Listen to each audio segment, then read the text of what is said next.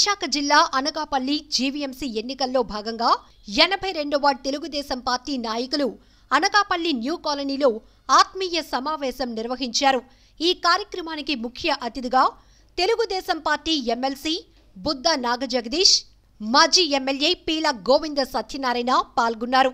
ఈ సందర్భంగా ఈ సందర్భంగా జీవీఎంసీ ఎనభై రెండవ వార్డు అభ్యర్థిని పోలారపు మహాలక్ష్మి గారిని ఎమ్మెల్సీ బుద్ధ నాగజగదీష్ గారు కండువా కప్పి సత్కరించి వార్డు అభ్యర్థినిగా నియమించారు.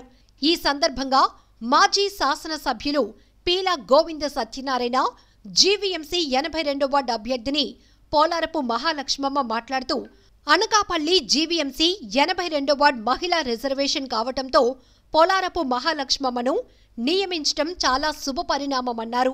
అదేవిధంగా తెలుగుదేశం ఆవిర్భావం నుంచి తెలుగుదేశం పార్టీకి ఎనలేని సేవలు ఆమె మున్సిపల్ కౌన్సిలర్గా నియమితులై గెలుపొంది అనేక సేవలు చేశారని వెల్లడించారు. ఈరోజు మహాలక్ష్మి గారు సేవలను గుర్తించి పార్టీ కార్యకర్తలు పార్టీ పెద్దల అభిప్రాయం మేరకు మహాలక్ష్మి గారిని జీవీఎంసీ ఎనభై రెండో వార్డు అభ్యర్థిగా నియమించడం జరిగిందని తెలిపారు.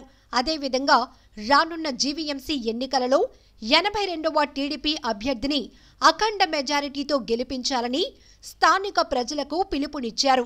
ఈ కార్యక్రమంలో మల్ల సురేంద్ర బిఎస్ఎంకే జోగినాయుడు పోలారపు త్రినాథ్ ఆళ్ళ రామచంద్రరావు దాడి జగన్ పిట్టారాజు బద్రీనాథ్ అందిపోయిన శేషు కొమ్మూర్తి నారాయణ ఆకుల నానాజీ దొడ్డి చిన్నారావు సోమొదల ఈశ్వరరావు పిట్ట అప్పల నరసమ్మ రత్నం ముప్పిడి కొండమ్మ జాజిమొగల లక్ష్మి బెప్పదేవి కార్యకర్తలు పాల్గొన్నారు. ఈరోజు గ్రాంటర్ ఎలక్షన్లో ప్రచారంలో భాగంగా మా అక్కగారైన మాజీ కౌన్సిలర్ అంటే మహాలక్ష్మి గారిని ఈరోజు మా ఎనభై వార్డు ఎనభై రెండో వార్డు అభ్యర్థిగా మా అక్కగారిని ఈరోజు మా కార్యకర్తలందరూ కోరిక మేరకు మా ఎనభై రెండో వార్డులో గల తెలుగుదేశం పార్టీ కుటుంబ సభ్యులందరూ కోరిక మేరకు ఎందుకంటే ఒక ఈరోజు మహిళా రిజర్వేషన్ రావడం వల్ల మహిళల్లో గతంలో ఆవిడ మున్సిపల్ కౌన్సిలర్గా ఎన్నికై ఆ రోజు ఆవిడ చేసిన సేవలు ఆవిడ చేసిన పాలన పట్ల మళ్ళా మా తెలుగుదేశం పార్టీ కుటుంబ సభ్యులందరూ మహాలక్ష్మి గారిని కోరికిన కోరిన పిదప ఈరోజు కార్పొరేటర్ అభ్యర్థిగా ధృవీకరిస్తూ గతంలో కూడా లాక్డౌన్ టైంలో కూడా వాళ్ళు సేవా కార్యక్రమాలు చేశారు. ప్రతి ఇంటికి కూడా పేదవాళ్ళందరూ కూడా నిత్యావసర వస్తువులు కూడా ఫ్రీగా డిస్ట్రిబ్యూషన్ చేశారు. ఇలా మా అక్కగారైన మహాలక్ష్మి గారిని మళ్ళా కార్పొరేటర్ అభ్యర్థిగా గెలిపించాడు అందరికీ మీ మీడియా సోదరుల ద్వారా అందరూ కూడా పేరు పేరు విజ్ఞప్తి చేస్తున్నారు మీ అమూల్యమైన ఓటు ముద్దని పదవ తారీఖుని సైకిల్ గుర్తుపేసి గతంలో చేసిన అనుభవం కూడా ఈరోజు కార్పొరేటర్గా కౌన్సిలర్ చేసి ఈరోజు కార్పొరేటర్ అలా పోటీ చేస్తున్న మహాలక్ష్మి గారికి అత్యధిక మెజార్టీ ఇస్తారని తెలుగుదేశం పార్టీ కుటుంబ సభ్యులందరూ పేరు పేరున రిపోర్ట్ చేస్తున్నారు కౌన్సిలర్గా చేసి అప్పుడు రెండో వార్డు అనమాట ఇప్పుడు ఎనభై రెండు వార్డు.